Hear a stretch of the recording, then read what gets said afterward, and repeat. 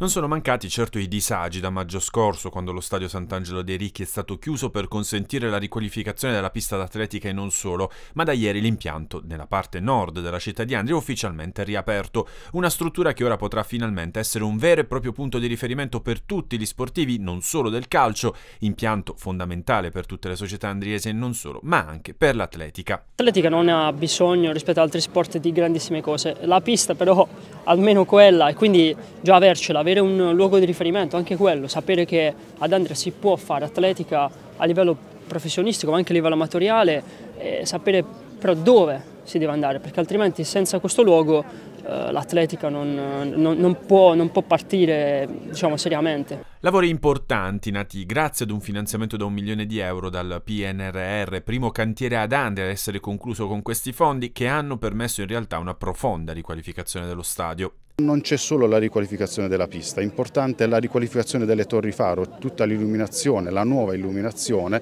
che insieme al generatore consentirà di utilizzare anche in notturna lo stadio. Quindi questo significa che gare ufficiali oltre agli allenamenti potranno essere eseguiti e quindi incrementando quello spazio temporale da dedicare appunto allo sport nella nostra eh, città. Eh, siamo riusciti anche a fine eh, lavori e ringrazio l'impresa eh, per questo a ottenere anche una spazzolatura dell'intero campo. Si può apprezzare già stamane ecco, una eh, qualità eh, del manto erboso davvero diciamo, eccezionale. All'evento presente anche il neoeletto presidente della Fidal Puglia, Eusebio Aliti. È chiaro che il problema principale che noi abbiamo in Italia sono l'impiantistica, gli impianti.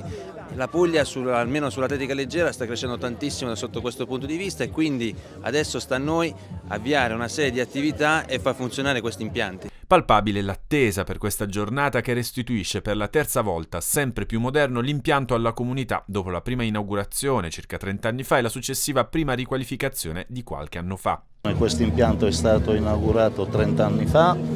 poi ha avuto più di 4 anni fa l'impianto rigenerato con il manto in erba sintetica e oggi la riqualificazione di questa pista grazie anche al PNRR Ora la palla passa, per usare una metafora sportiva, alle associazioni che dovranno custodire e utilizzare il più possibile l'impianto, in particolare quelle che si occupano di atletica. Da questo punto di vista il CONI ha già lanciato diversi progetti di coinvolgimento di associazioni e giovani generazioni nelle scuole. Proprio quest'anno è partito qui nella, nella nostra Puglia e soprattutto nella BAT il progetto della Corsa di Miguel che avrà il 19 gennaio il suo epilogo a Roma ma che nel mese di febbraio avrà la fase giovanile anche in tutte le province italiane. Speriamo che questo sia il volano giusto per cominciare a far muovere questi nostri ragazzi che li vedo un po' troppo fermi sulle loro sedie.